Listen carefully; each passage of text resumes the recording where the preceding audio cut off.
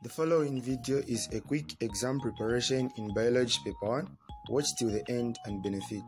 Question 1. Which of the following is an excretory product in animals? A. The lungs, B. Alkaloids, C. The kidney, D. Urea. The correct answer is D because urea is a product of deamination of proteins in the liver of animals. Question 2. What nutrient deficiency causes yellowing of leaves in plants? A. Phosphorus, B. Iron, C. Magnesium, D. Nitrogen.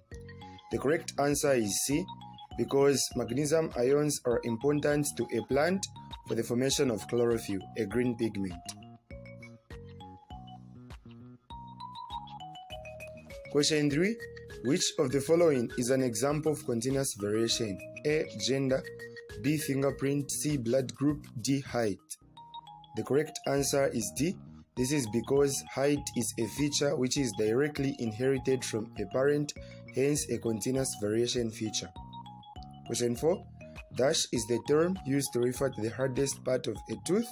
A. Enamel, B. Dentine, C. Gum, D. Nerve. The correct answer is A. This is because the enamel forms the white structure of the tooth which is suitable for cutting, grinding or crushing of food.